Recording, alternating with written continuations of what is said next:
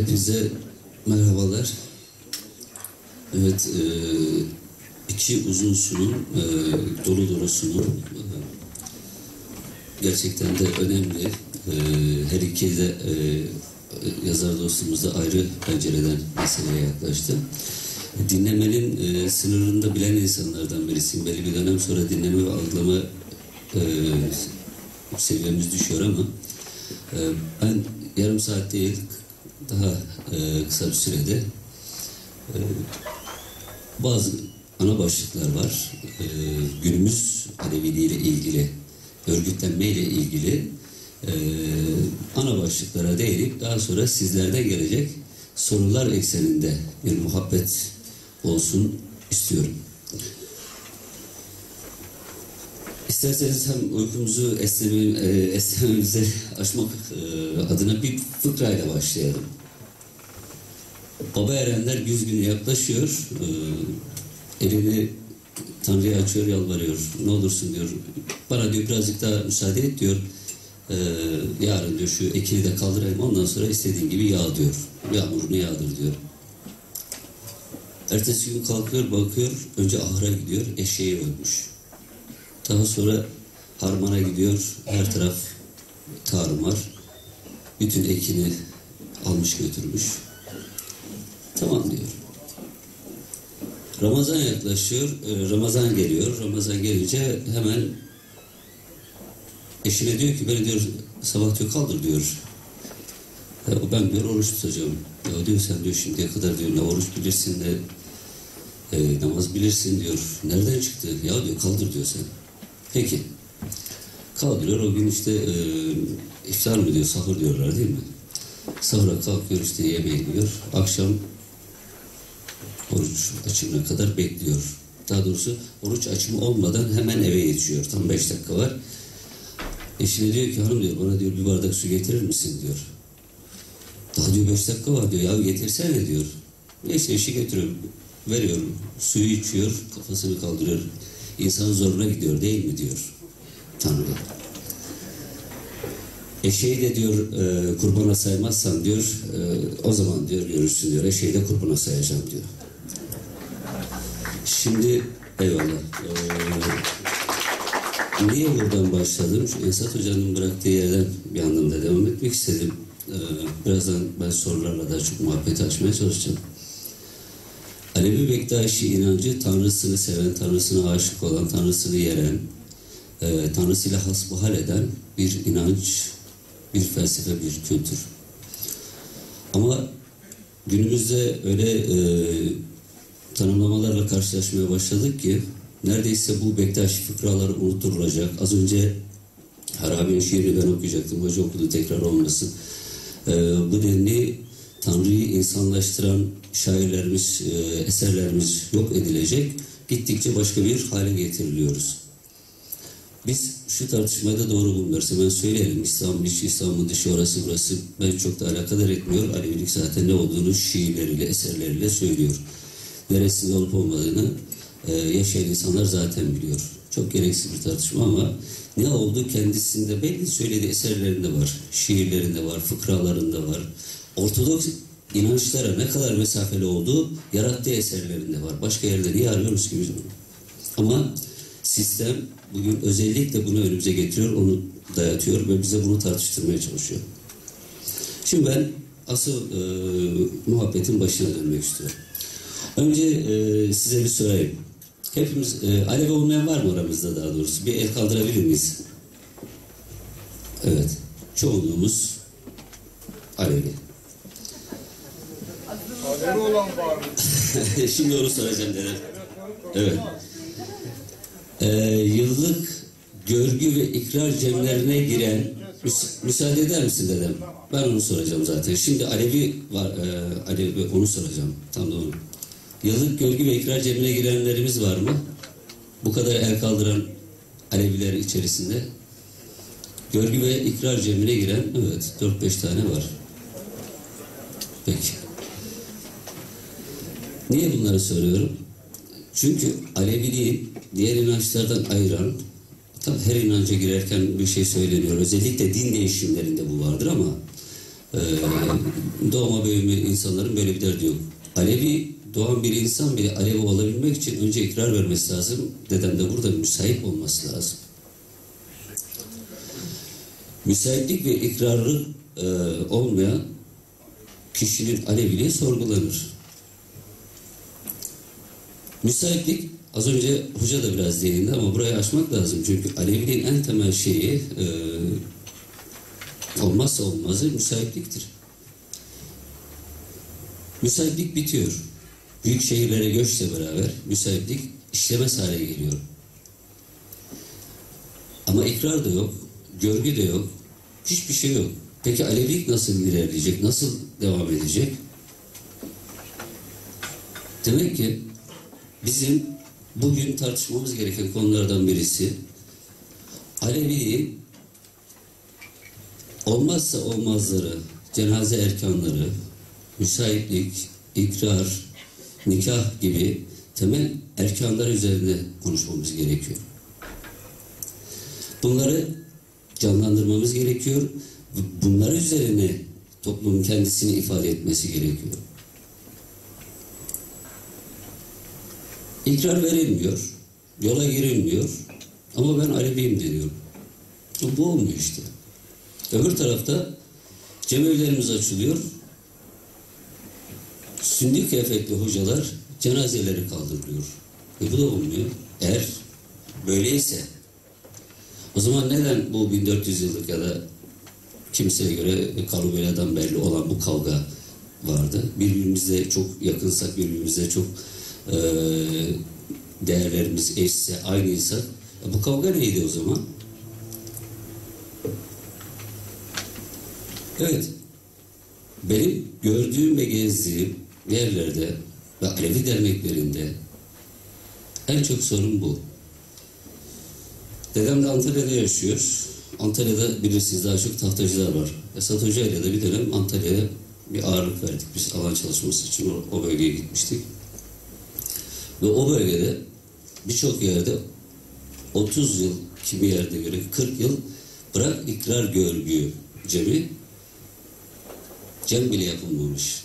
İnsanlar semahı folklorik bir araç olarak, folklorik bir e, eğlencelik olarak görmeye başlamış.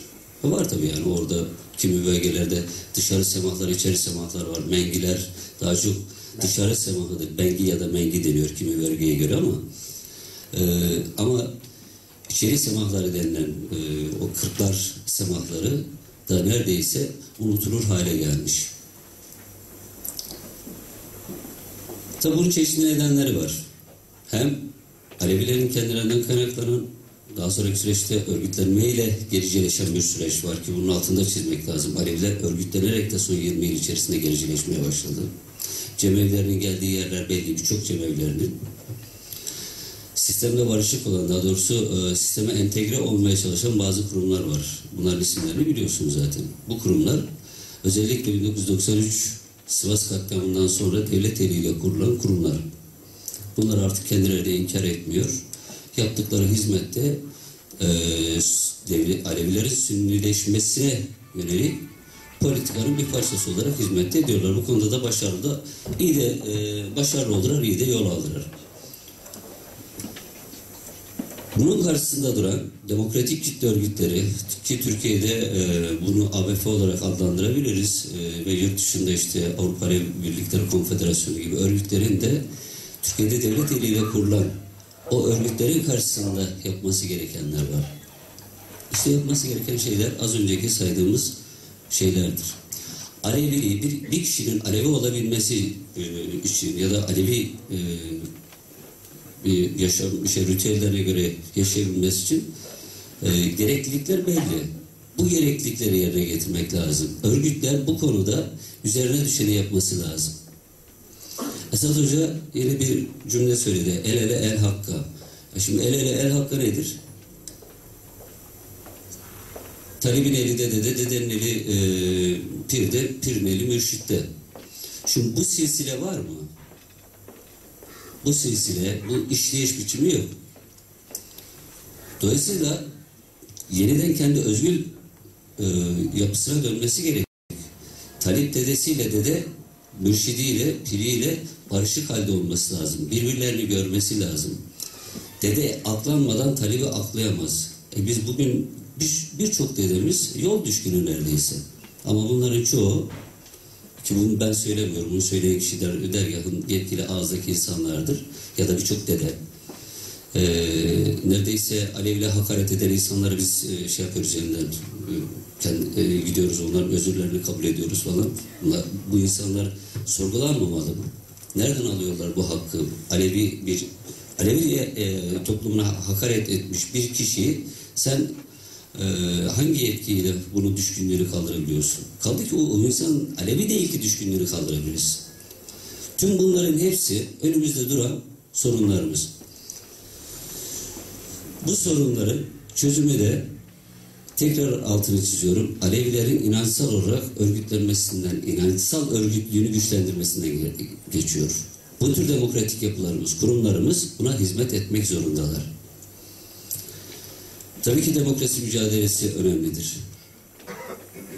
Derneklerin buna benzer kültürel etkinlikler e, ve demokrasi mücadelesi vermek gibi görevleri de var ama Alevi toplumunun yeniden organizasyonu, yeniden yapılması sürecinde derneklerin de olmazsa olmaz görevlerinden birisi inançsal anlamda örgütlenmesine destek sunmak, katkı sunmaktır. Eğer işin o boyutunu düzgün algılayamayıp yeniden organize edemezsek sadece Alevilik folklorik bir malzeme olarak görürüz. Bir inanç olarak bir toplumun getirdiği bugüne kadar direnme gücü, direnme felsefesi bir inancı olarak değil, folklorik bir malzeme olarak görürüz. Semahı öyle, öyle algılarız, değişleri öyle algılarız ve böyle de devam eder.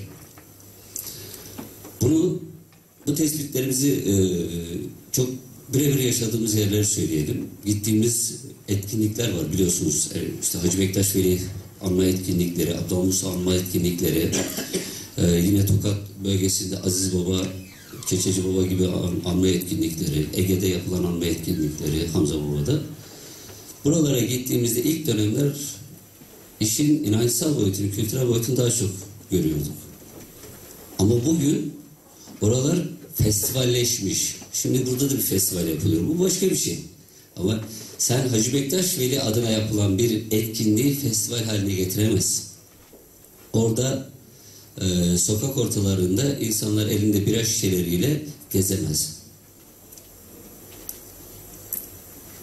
Aynı şekilde Abdal Musa'da, aynı şekilde diğer yerlerde insanlar mangal yaparak mangal partisiyle etkinliklere e, düzenliyorlar. Özellikle bunu Keçeci Baba'da gördüğümde çok şaşırmıştım. Dağın eteğinde bir tarafta mangal yapıyorlar, bir tarafta cem yapıyorlar, bir tarafta e, işte biz de panel panelist olarak gitmiştik. O zaman Lütfü Kalem, Lütfü abiyle beraber gitmiştik. Biz de oturduk, mangal yapan insanlara konuşuyoruz. Efendim? Yok, e, daha sonra. Yozlaşma hocanın da altını çizdiği tekrar ben de e, söylüyorum. Yozlaşma dışarıdan gelmiyor. Biz kendi değerlerimize sahip çıkmayarak yozlaşmayı maalesef biz yaratıyoruz. Tabii ki Pir Sultan zamanında olan Hızır Paşalar bugün de çıkacak. Yarın da çıkacak, çıkmayacak değil. Mutlaka olacak bu. Ama e, kendisini e, Alevi mücadelesine adamış insanlarımızın savunmasına ne demeli? Şimdi hocam e, tarihteki katliamları aktardı. E, katliamı devlet yaptı. Devlet e, gerek Osmanlı'da gerek Selçuk'ta gerek Cumhuriyet'te e, var olmak için yapıyor. Kendisi e, o iktidarını sağlamlaştırmak için e, bunları yapacak. Peki bu katliamlara e, maruz bıraktıran bunları şey yapan bizim içimizdeki insanlara ne demeli? Hani derler ya çuvaldız biraz da kendine batır diye. Ya hep mi hırsızın suçu e, var, ev sahibinin suçu yok mu yani? 20 yıllık demokratik Alevi hareketinin getirdiği kazanımlar var. Bunları küçümsemiyoruz. Tabii ki 60'lı yıllardan sonra da bir e, Alevi süreci var. Sadece e, son 20-25 yıllık bir süreç değil. İlk denemeler biliyorsunuz işte bir siyasi parti şekliyle oldu. E, yapılan şey de belliydi. Dünyadaki gelişen, gelişen konjüktürel durum, Türkiye'deki işte siyasal durum, ilk Aleviler eliyle Türkiye'deki gelişen o, o potansiyelin karşısında bir parti kurduruldu. Sol potansiyelin karşısında emekten, sınıftan yana tüm ezilen toplumlardan e, yana öyle diyelim yani belki birçoğumuz eleştiririz eleştirmeyiz ama sonuçta o cenaha karşı oluşturulan devlet eliyle oluşturan bir parti var. Bunu hepimiz biliyoruz. Birlik Partisi. Bugün bununla ilgili araştırmalar da çıktı. Yayınlandı da. Kimse de kalkıp hayır da böyle demedi. Umarım diyecekler çıkar. Daha sonraki süreç 93 olayları ve 93 olay, olaylar da çok ciddi irdelenmiş e, olaylarımızdan birisi değil. E, hemen arkasında işte az önceki bahsettiğim bir kurum oluşturuluyor ki o kurumun bugünkü temsilcisine 91 yılındaki Aydınlar Dilekçesi var. Aydınlar Dilekçesini götüren e, Cemal Şener'e bugünkü kurum başkanı ismini söyleyelim İzzettin Doğan. Oğlum diyor sen ne işin var diyor Alevlikle ilgileniyorsun diyor. Gidin başka şeylerle ilgilenin diyor. Orada diyor bir şey yok ki diyor. 93 yılında Sivas olaylarından hemen sonra e, o zamanki başbakan olan Tansu Çiller'in örtülü ödenekle verdiği 3 trilyon para var. Bu 3 trilyon paranın hesabını biz sorduk. Ben 94 yılında Radyo Umut'un genel yayın yönetmeniydim. Kendilerine, temsilcilerine de açık çağrıda bulundum. Bunu inkar edin ben deklar edeceğim diye hala da deklar de edilmedi, açıklanmadı. Demek ki belli. Örgütlenmenin modeli. Peki İzzettin Doğan belli. İzzettin Doğan hükümetten yana yerini aldı. E, Demokratik Alevi Hareketi'nin diğer tırnak içinde sol kökenli arkadaşlarımız da yaptılar. Gittiler Barış Partisi'ni kurdular. Bunlar bu süreçte ciddi anlamda irdelenmediği e, sürece biz daha çok çıkar panel yaparız, daha çok çıkar konuşuruz. Bu arkadaşlarımız bugün hala Alevi örgütlerinin şu ya da bu biçimde tepesindeler, orasında burasındalar. Ve aynı arkadaşlarımız ne yazık ki bugün seçim dönemi geldi ve yine savruldular. Hatırlarsınız bir sene önce yeniden bir parti girişimi yapıldı. O parti CHP'nin e, bir operasyonda genel başkan değişmesiyle birlikte o partinin yöneticisi, yöneticisi arkadaşlarımız hepsi de bugün istifa etti. Savruldu gittiler. Evet. Demek ki ev sahibinde de suç var. Sadece hırsızda değil. Sadece devlette değil. Sen düzgün örgütlenmezsen, örgütlenmeni düzgün yapmazsan, amaçlarını, ilkelerini düzgün belirlemezsen birileri gelir sana tokatını vurur. Vuracak çünkü onun derdi o. Ben iktidar olmak istiyorum diyorsun. E, fikrimi iktidara taşımak istiyorsun. İktidardaki adam sana altın, altın tepside sunmaz ki. Evet, e, aslında birçok e, konuyu e, başlıkları not almıştım ama dediğim gibi dinleme sınırımız e, bellidir. Fazla sabrınızı da zorlamak istemiyorum. Bu çerçevede sorularınız olursa süremedi bilmiyorum ama ben süreyi de çok riayet etmiyorum ama bu çerçevede sorularınız olursa yine de muhabbetimizi açalım diyorum. E, hepinize saygı